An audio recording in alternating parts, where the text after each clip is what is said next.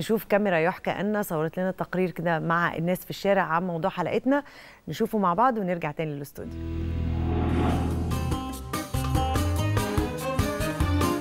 أنا كان عندي ابن اللي هو ابني الكبير اول ما جبته قلت أنا استحاله هحب حد تاني غيره هو دوت خلاص وحتى لو جبت ولد تاني مش هعرف احب حد غيره. بس سبحان الله اما الابن التاني بيجي لا يعني في مقوله اللي هي بتقول كلهم اولادي لا أنا مش شايف ان ان أنا يعني عن نفسي بفرق أو اي حد بيفرق. في عيل بيتميز على واحد يعني على حسب المعامله بتاعت العيل مع الاب. بيعز يبقى كان ده ولا ده؟ يعني مثلا يكون معاملتي أنا حلوة مع أبويا ممكن يكون أخ... أختي معاملتها وحشة تبقى أم كويسة ما بتفرقش بين العيل وبين ده. بت- بتحاول إن هي تضمهم على بعض تحببهم في بعض. لو أم وحشة بتحاول تفرقهم عن بعض بتضم ده لواحد ليها وبتضم ده آه، لأبوه كده يعني. عندي بنت وولد عمري طبعا ما فرقت في التربية بينهم.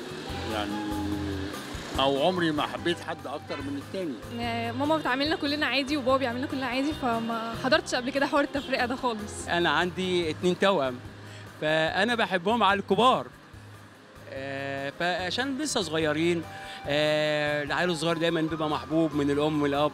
بص هو الأخ والأخت يعني أي نعم يعني الكلام ده ممكن كان زمان لكن حاليا ما فيش الكلام ده دلوقتي. زي ما بيقولوا البنت زي الولد دلوقتي يعني ما فيش التفرقة بين الولد والبنت. ممكن في أماكن تانية مثلا يعني لكن حاليا ما فيش يعني. أكيد الولد الولد ليه تربية والبنت ليها تربية. الولد لازم يبقى متساب شوية اللي هو بي يعني بيعتمد على نفسه يشتغل. البنت لازم نبقى محافظين عليها في الشارع يعني من الشارع. من المفروض ما يبقاش في فرق بين الولد والبنت.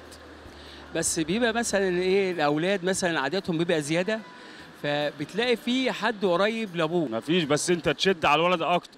البنت آه نعم بتشد عليها بس إيه ما تبينلهاش ان أنت بتشد عليه التفرقة دي هتعمل عقد نفسية لكل طفل من أطفالهم وهتخلي الأطفال كارهين بعض ومش هيحبوا الخير لبعض يعني المفروض تعدل ما بينهم. لا غلط عشان بيبقى في حقد بين الأخ والأخت. اشمعنى ده بتحبه؟ اشمعنى ده ما بتحبوش؟ كده كده كل دول ولادكم يعني المفروض إن دول من دمكم يعني. فليه التفرقة